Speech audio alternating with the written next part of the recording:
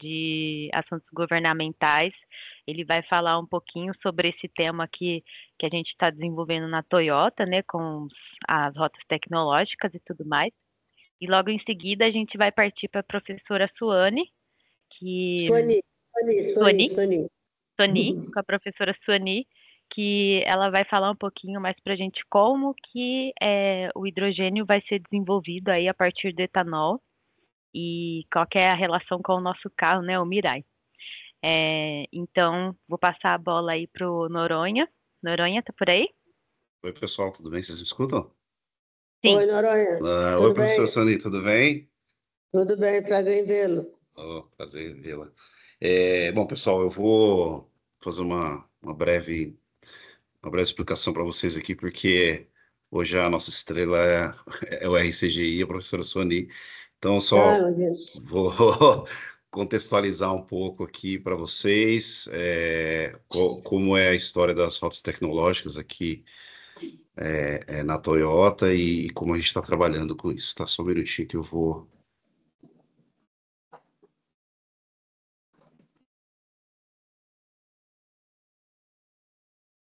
Compartilhar aqui.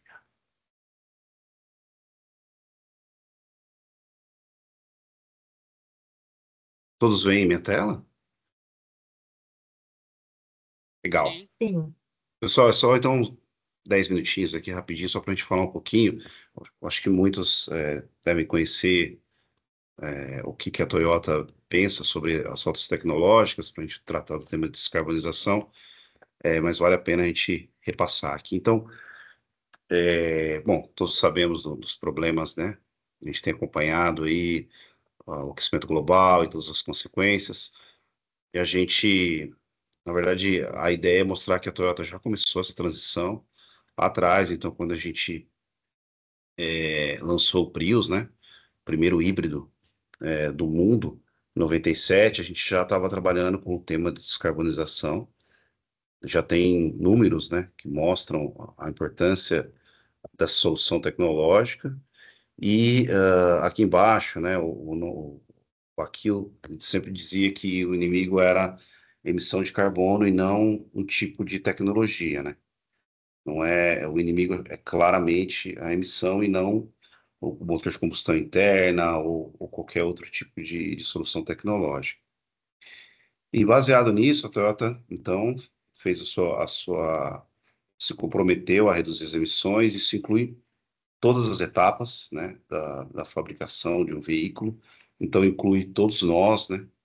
Estamos dentro dessa cadeia, né? Desde a parte de, de das peças, da, da, montagem, a distribuição do carro, o uso do veículo e a própria reciclagem, né? E nessa parte do uso do veículo, a gente tem que pensar sempre na, na, no conceito que envolva você também entender o quanto que emite de CO2 a produção de um, de um determinado combustível.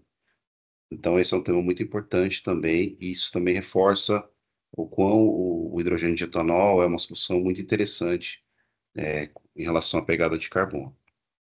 Bom, nessa ideia, a Toyota desenvolveu, então, várias te rotas tecnológicas, mais de 63 veículos eletrificados, mais de 20 milhões vendidos né, no mundo, e redução de, de CO2. Então, a gente tem várias soluções tecnológicas, né?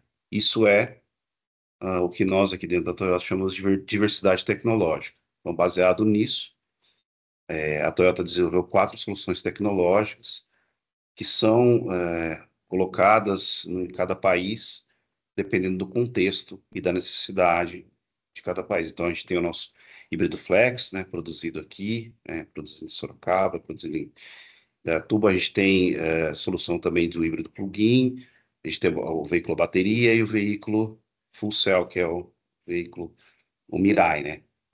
É, qual foi a ideia da Toyota, né? Lá atrás, quando a gente começou a trabalhar com o, essa história de você trabalhar descarbonização, a Toyota, então, é, é, criou esse core, que é chamado esse, esse esse corpo de eletrificação, que são basicamente três peças, né? Um motor, uma bateria e uma unidade de controle. Essas peças, elas são combinadas, né? Com diferentes é, partes para formar soluções tecnológicas. Então, quando a gente combina isso com um motor a combustão, ele é um carro híbrido, né? No caso do Brasil, o híbrido flex. Quando a gente combina esse, esse, essa mesma, essas mesmas três peças com um, um plug de recarga é, e também o motor a combustão, é o veículo plug-in. Depois a gente tem o veículo elétrico, onde você remove a parte do combustão até chegar no veículo é, célula combustível, que ele tem uma célula e tem os tanques de hidrogênio, que é o caso do Mirai. Então agora eu vou começar a falar um pouco da ideia da Toyota em relação ao hidrogênio. Só ressaltando um pouco antes que é, fica claro para nós, para a Toyota hoje, que uma solução é, importante, solução que mais se adequa hoje ao Brasil, é o híbrido flex, devido à sua característica de ser uma tecnologia mais acessível, mais prática. Né? Hoje você não precisa.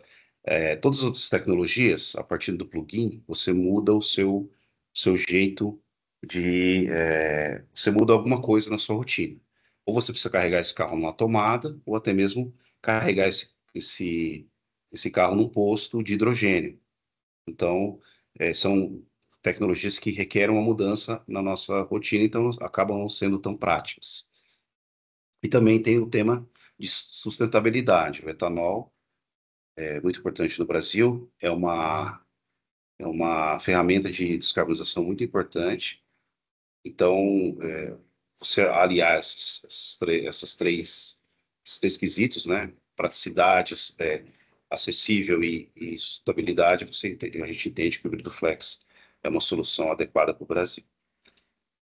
Mas a gente também tem a ideia da ideia de diversidade tecnológica, trabalhar com hidrogênio. Então, aqui um pouquinho da história de, do hidrogênio dentro da Toyota, começou lá em, em 92, vocês veem que é bem, bem próximo lá, no, a gente lançou o Prius, então são tecnologias que tem, estão sendo desenvolvidas há muito tempo na Toyota. Teve o lançamento do Mirai, teve aplicação em, em ônibus, né, em pilhadeiras, e também protótipos de uso, outros tipos de uso para hidrogênio, até mesmo a queima do hidrogênio. Aqui um pouquinho do Mirai, a gente tem uma unidade aí do Mirai em Sorocaba, né? Então, quem é que puder, é, pode ir lá conhecer o carro um pouco melhor. Basicamente, ele é um carro é, que não emite, é, tem zero emissões, tem uma autonomia alta, 650 quilômetros. O carregamento dele é rápido, já tem mais de 20 mil unidades vendidas no mundo, né? E ele é composto desses, desses componentes. Tem a célula, tem a unidade de controle, e a bateria, aqueles três que eu comentei com você, os tanques, que são, aqui na figura tem dois, mas são três tanques montados, e um motor elétrico, então o carro, na verdade, é um veículo elétrico. Além disso, a Toyota trabalha com a mesma tecnologia que a gente desenvolveu para o carro.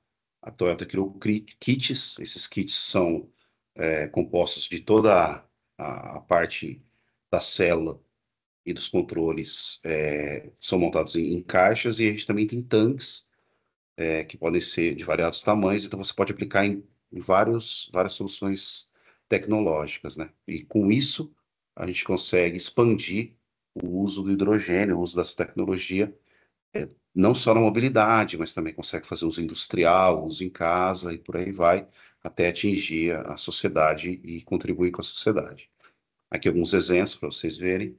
Então, a gente tem a própria utilização do carro, né? frotas de, de mirais aí sendo usados no mundo, a gente tem aplicações em ônibus, tem aplicação em navio, em, em barcos, tem é, fornecimento de energia, né? Os geradores, em vez de ser de diesel, os geradores de, à base de hidrogênio, e até caminhões, logística. Então, é um uso bem variado para a gente incentivar o uso da, da tecnologia. E aí termino falando desse projeto, né, que a gente está é, junto com o, SCGI, a gente tem o prazer de receber a professora Sony para explicar para nós. Aí, aqui acho que eu não vou perder muito tempo falando, mas dizendo, é, explicando o projeto, mas dizer que é uma, são vários, várias empresas e a gente está é, tá muito feliz de poder participar desse projeto de descarbonização. Bom, é isso. Espero que eu não tenha pego muito tempo de vocês. Professor, obrigado. Isabela, obrigado. É, qualquer dúvida, depois a gente pode conversar um pouco mais.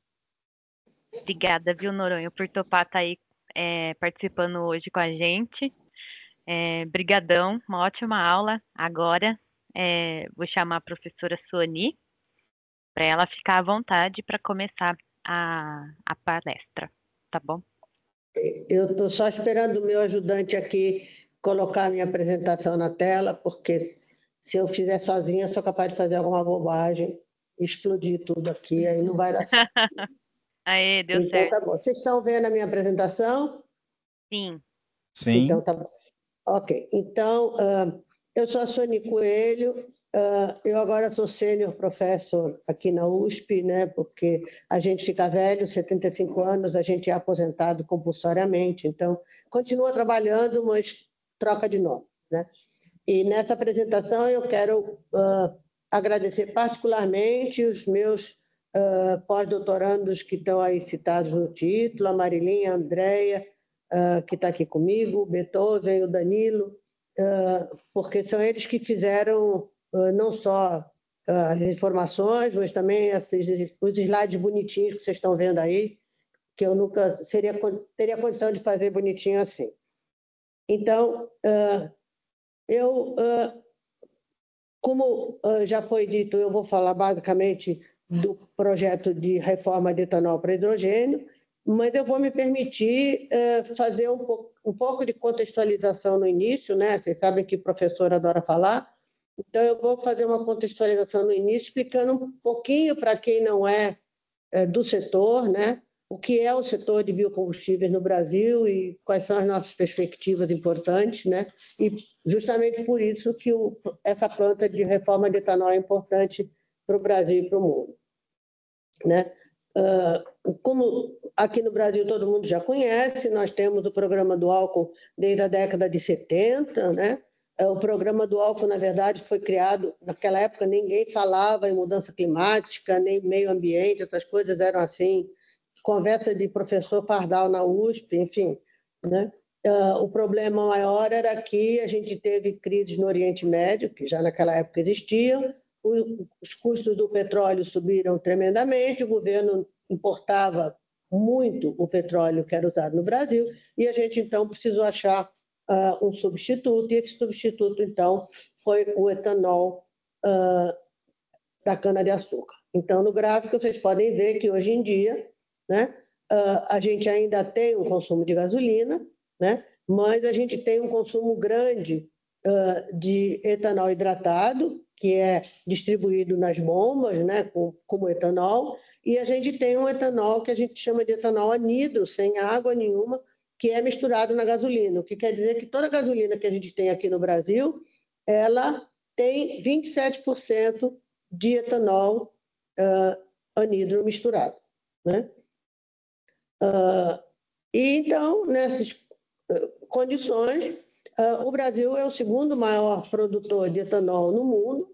Né? O Brasil produz quase 30 bilhões de litros de etanol, atrás apenas dos Estados Unidos, né? tanto etanol 1G como etanol 2G. Né? mas além do etanol, né, o setor produz também açúcar, 42 milhões de toneladas de açúcar, né? Ele é um dos maiores produtores mundiais, o primeiro maior exportador, né? e então uh, é uma produção importante.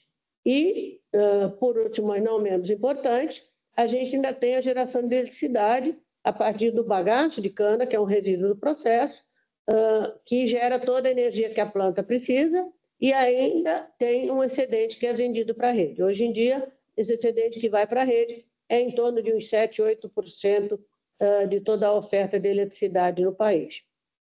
Tá? E tudo isso é feito usando apenas 1% da área do Brasil, né? mais ou menos. Ah, o Brasil tem 150 milhões de hectares e a gente usa 9,5 milhões de hectares com cana. Né? E do lado direito, ah, aqui na quadradinho amarelo, a gente tem a novidade que é o etanol de milho. Desculpa. A gente tem do lado direito aqui, no quadradinho amarelo, a novidade que a gente tem no Brasil, que também é a produção de etanol de milho, né? mas o nosso etanol de milho tem algumas vantagens em relação ao etanol de milho americano. Primeiro, porque a gente não usa combustível fóssil nas caldeiras, como eles usam lá, gás natural, até mesmo carvão. A gente usa cavaco de madeira, que é um biocombustível, né? E também a gente não usa uma terra adicional. Na verdade, esse milho ele é plantado na entre-safra da soja. Né? Quando a terra precisa descansar da cultura de soja, eles plantam milho. Então, esse milho é plantado naquela área que depois vai ser plantada com, novamente com soja. Né? É, esse, essa opção vem crescendo bastante, né? e uh, cada vez mais a gente vai vendo uh, essas oportunidades. Tá? Uh, com isso, então, falando, começando a falar um pouquinho sobre a questão de carbono e de emissões, né? Uh, a gasolina no Brasil, ela tem uma emissão de, em média de 87 gramas de CO2 por megajoule, quer dizer, por unidade de energia, de conteúdo na gasolina, e o etanol numa faixa de 26 a 28, né? Uh, por que, que nesse etanol eu ainda tenho esse 26 a 28 e não é zero, apesar dele ser um combustível renovável? Porque eu tenho ainda o uso de fertilizantes na agricultura, que são ainda de origem fóssil, e a gente tem o diesel, que é usado uh, nos equipamentos, nas colheitadeiras e no transporte. Né? Temos perspectivas para alteração desses usos? Temos, nós vamos falar disso daqui a pouquinho. Né? Do lado direito, nesse quadradinho verde, a gente vê então o que está acontecendo para a redução cada vez mais dessa, dessa pegada de carbono do etanol. Né? Nós estamos em muitas usinas já produzindo biogás e biometano dos resíduos. Né? Nós temos em São Paulo uma planta na Bonfim de 20 megawatts de eletricidade, vendendo para a rede. A gente tem na Cocal uma planta que produz biogás e biometano, e esse biometano é transportado num gasoduto dedicado, construído pela Gás Brasiliana. A gente tem também, cada vez mais, uma produção importante de etanol de segunda geração, que é produzido a partir do bagaço, e é então ainda mais renovável. Né? A principal produtora é a Raizen, ela tem uma planta na Costa Pinto já em operação há bastante tempo e agora estão construindo uma segunda na Bonfim e tem mais outras uh, em construção. E uh, os dois tópicos principais que nós vamos abordar aqui, a questão da captura de carbono, porque é um fator bastante importante se nós queremos diminuir as emissões de carbono, e o uso do hidrogênio através das suas diferentes rotas, como já foi comentado antes. Tá? Então, aqui, só para ilustrar, a planta da raiz da Bonfim, que, que do lado esquerdo, que vem, está vendendo 20 megawatts de eletricidade para a rede, e aqui do lado direito, a menção da planta da Cocal, junto com a gás brasiliano, com um gasoduto para biometano, dedicado a biometano, de 68 quilômetros, que vai da usina até o município para ser usado nos ônibus. Uh, falando de segunda geração rapidamente, então a Raizen é a nossa grande produtora de etanol 2G, né, com resultados bastante expressivos. E agora, além da Costa Pinto, a gente tem em construção, aí nessa foto, é a, é a construção da planta de etanol 2G na usina Bonfim. Aquela mesmo que já tem a planta de uh, biogás, agora vai ter uma planta de etanol 2G que está em construção. Muito bem. Uh, as perspectivas são, então, importantes, porque justamente quando eu junto né, o etanol 1G com o etanol 2G, eu tenho um aumento na produção de etanol por hectare de quase 30%. Né? E do lado direito aqui nesse gráfico, vocês veem as perspectivas de crescimento né, desse etanol, tanto o 2G como o 1G. Uh, também falando em crédito de carbono rapidamente, né, nós temos aqui no Brasil, recentemente lançado em 2020, o programa de crédito de carbono, Renova Bio, que é um programa de crédito de carbono negociado na Bolsa, as usinas uh, de etanol uh, fazem os seus cálculos devidamente auditados de quanto é a sua pegada de carbono. E isso é comparado com a pegada de carbono da gasolina, aqueles 87. Então, essa diferença são os créditos que são, então, comercializados. Né? Aqui vocês veem, nesse primeiro gráfico, algumas ideias de preço, né? que ainda não são muito interessantes. A gente gostaria de que esses valores fossem um pouco maiores para ser mais incentivo para as usinas, mas, enfim, vocês veem que em março de 2023 a gente estava numa faixa de 20 a 30 dólares por tonelada de CO2 equivalente, o que ainda é relativamente pequeno para incentivar uh, uma produção maior. E do lado direito, a gente tem as metas do Renovabil. Né? As metas são crescentes, são definidas pelo Conselho Nacional de Política Energética, né? e então você, a gente percebe que eu tenho metas né, cada vez maiores. Né? Essas metas têm que ser atendidas pelas distribuidoras de gasolina e de combustíveis fósseis, e é justamente por isso que elas compram os créditos de carbono uh, das usinas. E uh, importante a gente, então, lembrar né, e entender, isso já foi falado, mas é bom a gente entender, né, que quando eu estou falando de biocombustível, né, eu tenho justamente o ciclo de carbono, que é um ciclo praticamente nulo. Né? Por quê? Porque quando a planta está crescendo, pode ser uma árvore, pode ser é, o milho, pode ser a cana, eu preciso tirar CO2 da atmosfera no processo de fotossíntese, senão a planta não cresce. Né? Faz parte do processo de crescimento. Então, quando essa biomassa vem para ser usada na indústria e depois é usada para produzir um combustível, seja ele líquido, gasoso ou até mesmo hidrogênio, né? todo esse CO2 que é emitido nesse processo, na verdade, ele é fechado nesse ciclo do CO2 absorvido na fotossíntese. Né? Por que, que, então, esse balanço não é zero, como a gente falou antes? Porque eu tenho fertilizantes que são de origem fóssil e tenho ainda um uso de diesel na agricultura, que também é um fóssil. Né? Por isso que a gente não tem um, uma pegada de carbono nula. Mas nós podemos melhorar isso como? Né? Eu posso capturar esse CO2 no processo de produção, né? na fermentação e em outros processos, e esse CO2 pode ser usado para diferentes usos ou estocado em sítios geológicos. Né? Com isso, os biocombustíveis que eu produzi, em particular o hidrogênio, que nós vamos falar, ele pode ter uma pegada de carbono até mesmo negativa, como nós vamos ver. Para que isso não pareça que é assim sonho de uma noite de verão, né? A gente já tem aqui no Brasil a planta da FS Bioenergy, no Mato Grosso, é o primeiro projeto desse tipo aqui na América do Sul, que capturando CO2 no processo de fermentação, está estocando esse CO2 uh, no sítio geológico.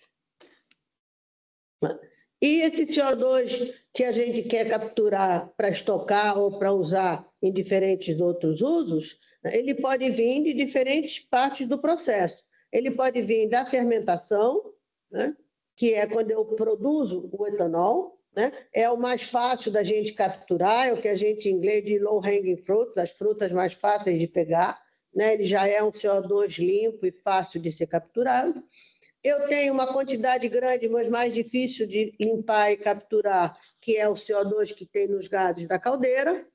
Eu tenho o CO2 do biogás quando ele é queimado para geração de eletricidade, e eu tenho o CO2 se eu pegar esse biogás e transformar ele em biometano, eu retiro também o CO2.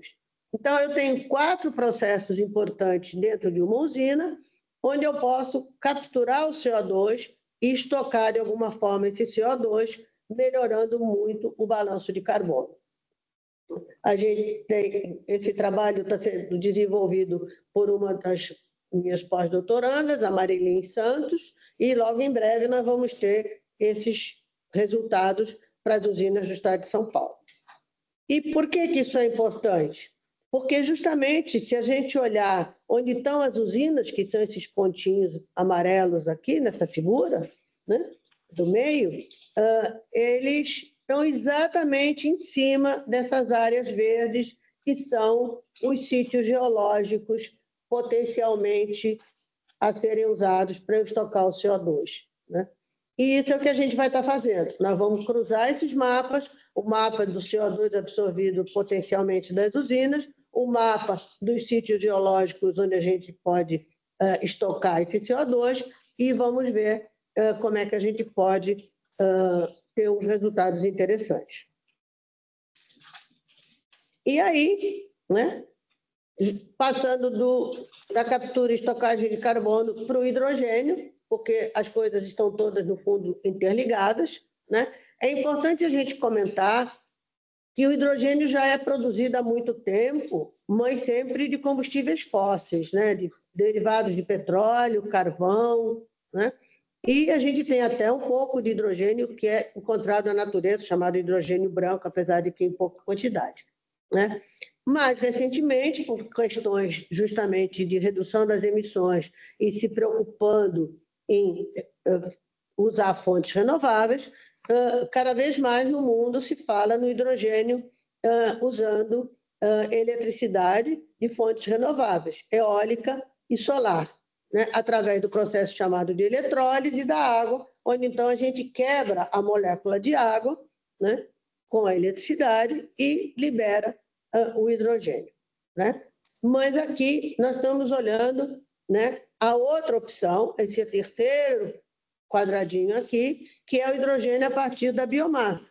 Né? Sendo o Brasil um grande produtor de biocombustíveis e de biomassa, né? se a gente pensar em usar esse hidrogênio da biomassa, isso acaba sendo uma opção interessante, que é o que nós vamos estar discutindo aqui. Sempre lembrando que, quando eu estou trabalhando com esse hidrogênio produzido a partir da biomassa, eu posso pegar todo aquele carbono que é liberado no processo, apesar dele já ser um biogênico e que ele vai ser absorvido na fotossíntese, eu posso também capturar esse CO2 e estocar.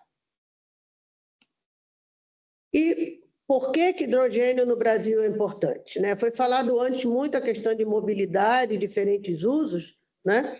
Mas a gente tem um uso que às vezes é esquecido. Né? Uh, o hidrogênio é importante no Brasil porque o Brasil tem uma enorme dependência na importação de fertilizantes. Né? Não é à toa que o Brasil está sempre querendo estar vivendo de bem com países produtores de fertilizantes como a Rússia, apesar dos problemas geopolíticos, porque ele é um grande importador. 80% dos fertilizantes que nós temos no Brasil, eles são importados. Né? E eles correspondem a mais ou menos 30% do custo de produção das maiores culturas, principalmente no estado do Mato Grosso. Né? Então, é uma opção importante a gente produzir esse fertilizante no Brasil. Isso já está começando a acontecer? Já. A gente tem uma fábrica de fertilizantes, a Iara Fertilizantes, para quem a gente já fez alguns estudos de potencial, e agora eles estão comprando uh, biometano da raiz para produzir fertilizantes que eles estão, vão vender com, com fertilizantes verdes. Né? Não mais de origem fóssil, como os que são importados, mas de origem verde. Né? E também, né, além de usar em veículos uh, leves, como a gente vai estar falando mais adiante, já foi falado também aqui pela Toyota, né, eu posso usar esse hidrogênio em veículos pesados, substituindo o diesel. Né? Sempre lembrando que quando eu estou usando hidrogênio, eu estou usando uma célula combustível, e quando eu estou usando uma célula combustível, eu tenho uma eficiência muito maior do que no motor de combustão, porque eu não tenho aqueles benditos limites da segunda lei da termodinâmica. Né? E então eu tenho rendimentos muito maiores. Então, o que a gente tem de possibilidade de aproveitamento uh, no setor né, é fazer a reforma do etanol, ou etanol 1G ou etanol 2G, né, produzindo hidrogênio e ainda mais eu posso juntar esse hidrogênio né, com a captura do CO2 uh, do processo. Né? Eu posso usar aquele, aquela eletricidade excedente a partir do bagaço, e se eu não quiser vender para a rede, eu posso usar também para fazer eletrólise e produzo hidrogênio, também posso juntar com a captura do CO2 da combustão. Né? E posso fazer a reforma do biogás, produzindo também um hidrogênio que eu posso também juntar com a captura e a estocagem de carbono. O Brasil tem um potencial enorme, né? vários, acho que não rodou a minha, agora foi. Uh, o Brasil tem um potencial enorme de uh, diferentes tipos de biomassa. Né? Aqui nós estamos. Desculpa. Foi? Acho que não. Assim. Tá. Então, uh, vocês têm aí o um mapa, né? a gente tem diferentes tipos de biomassa no Brasil. Né? Aqui nós estamos trabalhando basicamente com o setor sucrocoleiro, mas no segundo momento a gente vai estar olhando os outros tipos de biomassa também. Né? E aí, chegando né, uh, finalmente à planta daqui da USP, né? então é uma planta de reforma de etanol para produzir hidrogênio. Né? Esse etanol hidratado ele, é, ele será fornecido pela Raizen, né? ele vem para São Paulo, aqui na planta, ele vai ser alimentado no reformador de etanol, vai ser produzido hidrogênio, e esse hidrogênio vai ser usado para testes é, em ônibus que vão rodar aqui no campus e no próprio Mirai, que a Toyota cedeu. Né? Num primeiro momento, nós temos duas unidades pilotos de 5 kg por hora de hidrogênio, mais ou menos cada 38 litros de etanol por hora em cada uma. A ideia é escalar isso para um tamanho maior, né? mas, num primeiro momento, a ideia é essa: um investimento de 10 milhões de dólares da Shell, foi anunciado em agosto do ano passado, tivemos até a presença do governador aqui, e a ideia é que o startup dessa planta venha a acontecer no segundo semestre desse ano. Né? Então, aqui a gente tem o processo de reforma, né? desde o etanol sendo alimentado, processo de reforma, o compressor e alimentação uh, nos ônibus. Né? Uh, nós fizemos algumas contas preliminares, né? muito uh, preliminares, e a gente estima que a gente pode ter, uh, se a gente aproveitar todas as opções que a gente tem no setor sucrocoleiro, um potencial de produção de hidrogênio de quase 7 milhões de toneladas por ano, o que é um número bastante expressivo. Né? Qual é o problema que a gente ainda tem? Né? Os custos. Né? Uh, essa fotinho que tem aqui do lado foi tirada de um posto de abastecimento na Califórnia, né? Uh, foi até um, um, dono de um Mirai que foi lá abastecer o Mirai, né? Uh, pagou 36 dólares por quilo de hidrogênio, né? O que é um número, um valor extremamente alto, o que significa que além da gente saber produzir hidrogênio, nós temos que fazer com que esse hidrogênio tenha um custo competitivo para que a gente atraia uh, os consumidores. Né? Uh, esse outro estudo é interessante, é um estudo feito pela WWF Brasil, pela McKinsey, comparando as principais rotas que a gente tem para a produção de hidrogênio. Quais são elas? Eletrólise usando energia solar, eletrólise usando energia eólica e reforma de etanol. Do lado esquerdo, nós temos os custos. Né?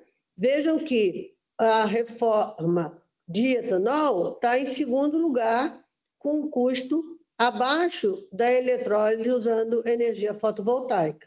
Né? E, pelo estudo, o mais barato, a eletrólise usando energia eólica. Né? Do lado direito, a gente tem as emissões em quilos de CO2 equivalentes por quilo de hidrogênio. Né? Também, né, as maiores emissões vem da planta de eletrólise com energia solar, e, em segundo lugar, a reforma de etanol, e as menores uh, com energia eólica.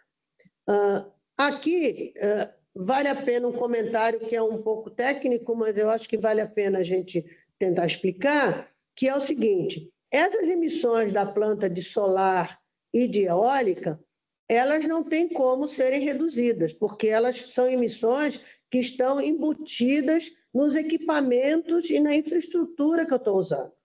Né?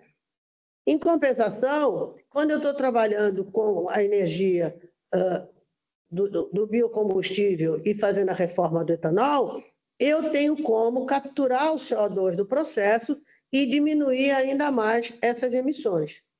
Então, a gente fez um pequeno estudo preliminar pensando se, como é que ficaria a pegada de carbono desse hidrogênio se, junto com toda a cadeia de produção de etanol e hidrogênio, a gente associasse os processos de captura e estocagem de carbono. Né? Então, atualmente, a gente tem uh, uma pegada de em torno de 4 quilos de CO2 por quilo de hidrogênio, a partir do etanol, que tem uma pegada de 28 gramas de CO2 por megajoule, mas se nós fizermos umas continhas teóricas ainda, porque a planta não está funcionando, então a gente está trabalhando só com números teóricos. Então, se eu olhar quanto de CO2 eu posso capturar da fermentação, se eu olhar quanto de CO2 eu posso capturar da combustão do bagaço, se eu olhar quanto CO2 eu posso capturar da reforma de hidrogênio, porque a reforma do, do etanol para o hidrogênio também emite CO2. Então, eu tenho possibilidades de capturar esse CO2. É sempre importante lembrar novamente que esse CO2 é um CO2 biogênico. Se eu não capturar, ele vai para a atmosfera e vai ser reabsorvido quando a cana está crescendo. Então, por maior razão, se eu conseguir capturar esse CO2, eu consigo ter resultados bastante importantes. Né? Então, eu consigo ter uma captura de 5 quilos de CO2 por quilo de hidrogênio só correspondente à fermentação, mais 16 correspondente à combustão do bagaço, né? mais 7 uh, capturado na reforma de etanol, e a gente pode chegar em quase menos 30, ou seja, um, uh, uma pegada negativa de quase 30 quilos de CO2 por quilo de hidrogênio. Né? O que quer dizer, então, que aquele hidrogênio que tem uma pegada entre 4 e 7 uh, quilos de CO2 por quilo de hidrogênio, ele pode chegar a uma pegada negativa de menos 25. Né? É claro, novamente, esses números são números teóricos que nós estamos calculando, porque a gente ainda não tem a planta de reforma, então a gente vai precisar fazer levantamentos de campo para conferir esses dados e ter números mais reais. Uh, ainda nessa linha, né, uh, é sempre importante a gente lembrar que, além de produzir os fertilizantes, além de ser usado esse hidrogênio em mobilidade, eu posso também usar esse hidrogênio para uh, produção de combustíveis sustentáveis de aviação. Né? O setor de aviação é um dos setores mais difíceis de descarbonizar, né? porque as opções que a gente tem são muito poucas né? e são basicamente biocombustíveis. Então, nós estamos agora desenvolvendo um projeto aqui, né? com os pesquisadores, a Andrea e o Beethoven, que nós estamos mapeando essa produção de hidrogênio né? uh, e vendo como é que nós podemos, a partir desse hidrogênio, produzir uh, os uh, combustíveis sustentáveis de aviação. Né? E, por último, quase acabando, né? mas, por último, mas não menos importante, né? algumas questões de sustentabilidade que é sempre importante a gente lembrar, porque, infelizmente, principalmente em outros países, a gente ainda tem uma controvérsia grande e alguma, algum mal entendimento uh, a respeito dos biocombustíveis. Né? Uh, a gente costuma dizer uh, para as diferentes audiências e para os nossos alunos que os biocombustíveis eles não têm que ser mal ou bom, não é uma questão de religião. Ele pode ser bom ou pode ser mal, dependendo de como ele é produzido. E é justamente o que a gente consegue fazer aqui no Brasil. Né? Então, aqui no Brasil, nós temos a nossa cana-de-açúcar, praticamente toda ela colhida, colhida de forma mecanizada, não mais com queima de cana, que tinha uma emissão de poluentes enorme. A gente já comentou que a questão de uso da terra é bastante reduzida, a cana é em torno de 1,1%, 1,2% da área total do Brasil. Né? Uma outra questão que também muitas vezes é levantada é a questão de uso da água. Né? Uh, a cana-de-açúcar no Brasil ela não tem irrigação, Toda ela é produzida com água de chuva e mesmo o consumo de água na indústria vem sendo reduzida bastante nos últimos 20 anos, de 5 para menos de 1 metro cúbicos por tonelada de cana. Uh, uma outra questão importante é, é que, justamente, como nós estávamos mencionando a questão das vantagens na questão do balanço de carbono, né? O Brasil agora uh, vem tendo produtores de etanol uh, sendo certificados né, uh, no programa Corsia, que é o programa de aviação, né? o que significa que eles são candidatos a produzir etanol para ser transformado em combustíveis sustentáveis de aviação, o Sustainable Aviation Fuel. Atualmente, a gente tem a Raizen, a BP Bunge e a FS já uh, classificadas. Né? E uh, um dos últimos, uh, eu gosto muito desse gráfico. Ele, ele aparentemente é um gráfico meio complicado, mas eu vou só chamar a atenção para algumas coisas importantes. Primeira coisa é que ele é um gráfico que está contando para nós né, apesar por todos os métodos científicos de análise de ciclo de vida, qual é a emissão de carbono na rota completa do processo, desde o poço até a roda. Emissões em gramas de CO2 por quilômetro rodado, o que significa que ele leva em conta, inclusive, a eficiência do motor quando está rodando. Né? Então, vamos ver se, se esse meu pontinho vai lá onde eu quero, né? Então, a gente começa aqui, né, com esse maior de todos, que é a gasolina uh, nos outros países, que não tem álcool misturado na gasolina, que é a que tem a maior emissão, 166 gramas de CO2 para quilômetros rodados. Né? Mesmo a gente pensando em eh, eh, eh, motores de combustão mais eficientes, eu caio para 135. Né? Os híbridos a gasolina, 144. Né? No futuro, se prevê mais eficientes, híbridos a gasolina com 104. Né? Esse primeiro roxinho aqui é uh, os, os veículos elétricos na União Europeia. Por quê? Porque a União Europeia, a matriz elétrica é basicamente de combustíveis fósseis, com uma participação ainda grande de carvão.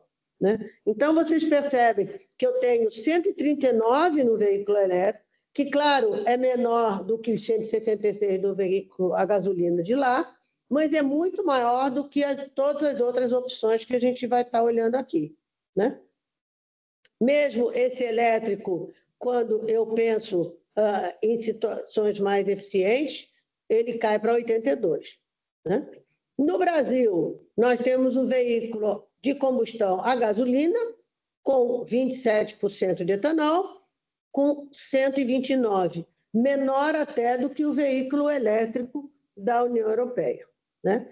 E aí a gente vai diminuindo né, uh, para o veículo uh, a gasolina com etanol mais eficiente, aqui o veículo flex a etanol, aqui um veículo flex a etanol em 2030, né? Aqui, em 20, com 23, o híbrido a etanol, né? 14 o híbrido etanol em 2030, né?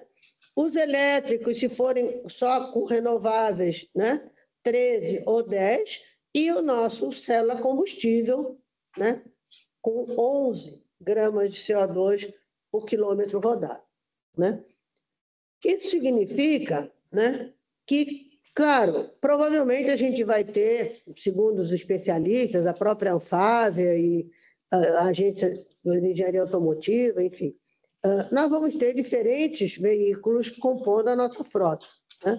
Mas, muito provavelmente, nós não vamos precisar de tantos veículos apenas com bateria, porque a gente tem o impacto da bateria e a gente tem a vantagem do híbrido flex e do, a célula combustível. Né? Sem contar que a bateria tem o problema do impacto na mineração, para eu ter o lítio para fazer a bateria, e depois eu tenho que cuidar do descarte dessa bateria. E os meus dois últimos slides, né, eu sempre digo para os meus alunos, digo, olha, uh, eu não sou sócia da Toyota, uh, não sou dona da Toyota, né, mas eu acho que é importante a gente mostrar o que está acontecendo e esse é um slide que eu mostro sempre nas minhas apresentações, que foi justamente o lançamento do Toyota Corolla, o primeiro flex híbrido no Brasil, e com perspectiva de outros veículos também, como já foi mencionado aqui. Né?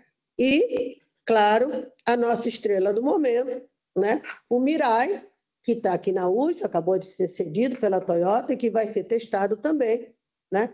com o hidrogênio da planta de etanol. Né?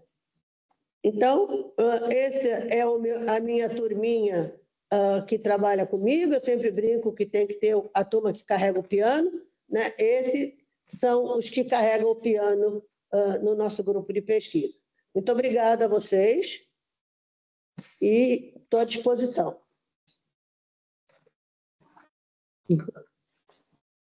Professora, muito, muito obrigada.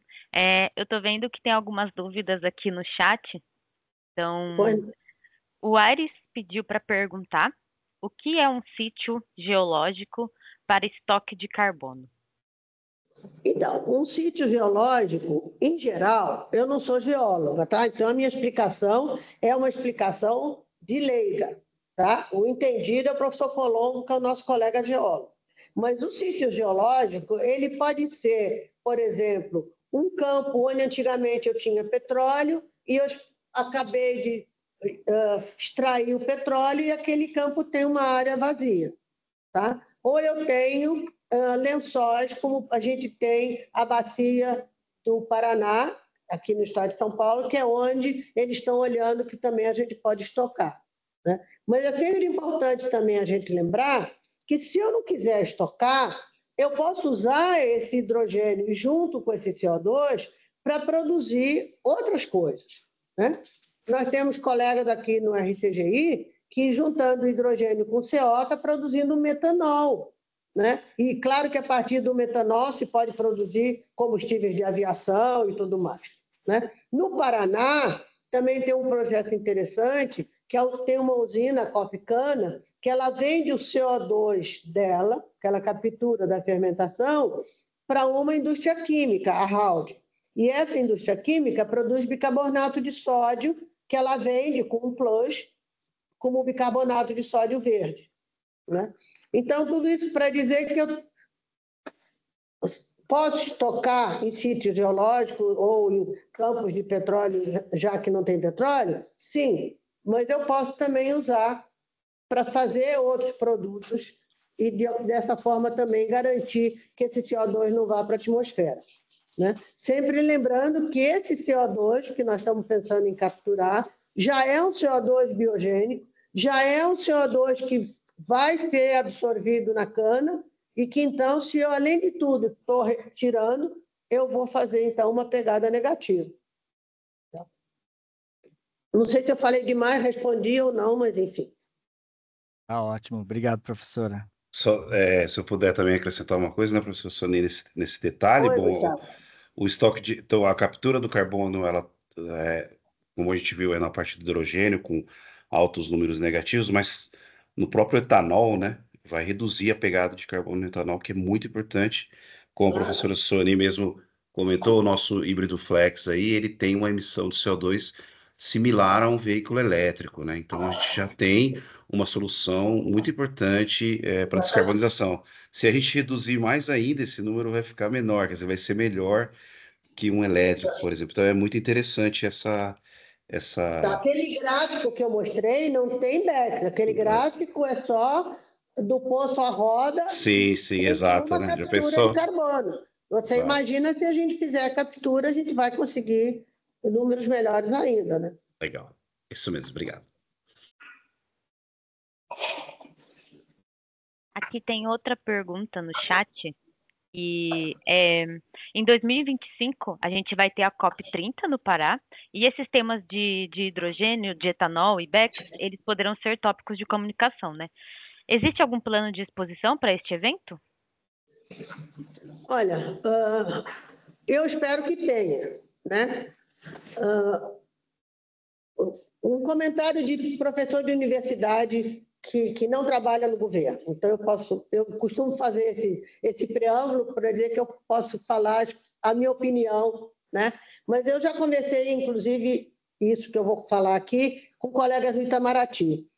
A minha impressão, e eu quero muito estar errada, é que essa COP que vai ser lá no Pará, ela vai acabar tendo como foco único e principal a questão da Amazônia e de desmatamento. Ela vai estar lá no Pará, então todo mundo só vai querer falar disso. Então a gente tem que fazer um esforço muito grande para que todos esses outros pontos que são importantes e que são pontos muito positivos para o país apareçam lá, né? E isso que eu estou contando aqui, eu já conversei também com meus colegas de Itamaraty, com quem eu tenho a honra de compartilhar opiniões, né? Porque eh, certamente uh, principalmente os países desenvolvidos, eles vão chegar nessa COP com tudo para focar em desmatamento da Amazônia, o que o Brasil está fazendo para diminuir o desmatamento, e como é isso, como vai é lá na Amazônia. Então, né? então, acho que a gente vai ter, de fato, como a Isabela falou, que fazer um esforço grande para que todos esses outros pontos que são muito importantes e essas experiências que a gente tem apareçam lá né? ou inside events, ou né? sempre nas COPs que eu ano passado tive em Dubai, né? sempre tem inside events, tem inside events também na delegação brasileira, né? Claro, a gente espera que essa seja um pouco melhor, porque vocês sabem, a de Dubai, além de ter sido num país produtor de petróleo, né, o Emirado, que é um dos, dos, maiores produtores de petróleo do mundo, o CEO da conferência era o CEO da companhia petrolífera do Emirado. Né? É um pouco a gente botar o, o, o, é? a raposa tomando conta das galinhas. Claro que a gente não conseguiu passar quase nada. Não vou dizer que a culpa foi só dele, mas claro que a gente tinha um ambiente né, uh, mais difícil. Né? Sendo aqui no Brasil, e sendo o Brasil um país importante nessa questão de biocombustíveis e com toda essa experiência, eu acho que a gente tem tudo para conseguir uh, mostrar a nossa experiência e também conseguir resultados melhores do que o que a gente conseguiu em Dubai, né?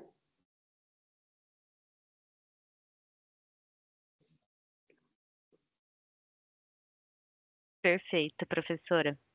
É, mais algumas perguntinhas aqui no chat é, aquele último gráfico, uma pergunta do Renato, né? Aquele último gráfico mostra que o híbrido etanol 2030 é mais eficiente que o híbrido etanol de 2017. É, qual Peraí, seria o motivo? O gráfico, deixa eu ver minha cola aqui do gráfico, porque senão não vou lembrar. Peraí. Ele, não sei, ele é capaz de não aparecer aí, mas enfim. Aqui. É, ele não vai aparecer aí, mas pode falar qual é a pergunta? É, nesse gráfico, né? Mostra que ah. o híbrido etanol 2030 é mais eficiente que o híbrido de 2017. Aí qual seria o motivo disso? É porque em 2017 você sempre tem um motor que está menos eficiente. Quando você está falando em 2030, você está falando em motores mais eficientes, né? Mas você veja que o híbrido, quando você pega o flex a etanol, uh, desculpa, quando você pega o híbrido a etanol em 2017 e você passa para o híbrido a etanol em 2030, e aí você compara 2030 com 2030, você tem o flex a etanol 20, o híbrido a etanol 14. Né? Então, você, você comparar tudo no mesmo ano, porque a diferença entre sempre 2017 e 2030 é o, o aumento de eficiência nos veículos. Né? Então, você tem que comparar o flex a etanol de 2030, que deu 20, com o híbrido a etanol de 2030, que deu 14. Né? Bacana. Senão você está misturando laranja com banana, né? Fica só uma salada de fruta, que é muito bom, mas é meio atrapalhado do ponto de vista científico. Entendi. Obrigada, professora. Aí eu vou fechar as dúvidas aqui com a última dúvida do Maurício. É, foi comentado durante a explicação da tecnologia de hidrogênio a pegada de carbono negativa. Como seria uhum. isso? Então, é aquilo que eu estava explicando. Normalmente, todo o CO2 que é emitido no processo, que é o CO2 biogênico, ele já é absorvido no crescimento da cana. Né? Então, eu já tenho um balanço de carbono praticamente nulo. Né? Se eu, além disso, eu conseguir pegar esse CO2, em vez dele ir para a atmosfera, e eu capturar esse CO2, né? o CO2 da fermentação, o CO2 da queima do bagaço, o CO2 da reforma de etanol, né? eu vou ter um balanço, que foram as primeiras contas que a gente fez, ainda mais negativos. Muito obrigada, professora. Bom, pessoal, eu vou finalizar aqui, pedir para todo mundo, quem puder, né, abrir as câmeras aí para a gente fazer um, um registro, uma foto bem bonita. Ah, vamos lá, tirar uma foto todo mundo. Sim, quem quiser ir tirando print mandando aqui no chat. Muito obrigada a vocês pela atenção. Espero ter correspondido à expectativa e ter conseguido responder as dúvidas. E eu deixei aí no último slide tem o meu e-mail e a Isabela também tem o meu e-mail. E se tiver mais alguma dúvida, ah, vocês fiquem à vontade de me mandar uh, no e-mail que eu tento responder. O que eu não souber, eu vou atrás uh, de quem sabe para responder. Né? Como eu disse, essa parte toda de, geolo de, de, geologia não é minha área. Né? O pouco que eu sei, eu aprendi com o meu colega professor Colombo. Então, se forem perguntas mais nessa área de, de geologia, eu, vou, eu passo para o Colombo, mas a gente procura responder todas sim. Muito legal, professora Sony. Só Isabel? Só para comentar, a gente também muito feliz de poder é, participar do, do, do, projeto junto com vocês e aprender, né? A gente está aprendendo cada dia mais. Então, e, e eu gostei muito da, da, das, dos slides aí da, do Corolla, né? Do, do Flex, muito bom, muito bom, muito obrigado. Quando eu, quando eu mostro esses slides, e, eu, e até por isso a minha apresentação é em inglês, é porque eu uso isso muito no exterior, eu sempre digo, olha, eu não sou dona da, da, da Toyota, eu não sou acionista da, da Toyota, eu não trabalho na Toyota. é só a informação científica de uma professora de universidade, né? Muito bom. Professora, eu Obrigada queria muito, muito agradecer você também por ter aceitado o nosso convite, por ter contado aí um pouco mais para a gente como que está funcionando, né? Toda essa questão da tecnologia, dá esperança também para a gente que uma hora a gente vai conseguir negativar as emissões de carbono, a gente vai conseguir diminuir as, é, os efeitos né, do aquecimento global. Então, queria te agradecer de coração mesmo, agradecer ao Noronha, que também fez essa ponte aí entre a gente, tá bom? Brigadão. Obrigada, Noronha. É...